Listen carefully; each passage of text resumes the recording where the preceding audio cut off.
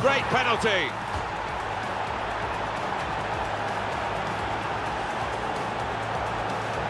I think he's given the keeper the eyes there and placed it to the left.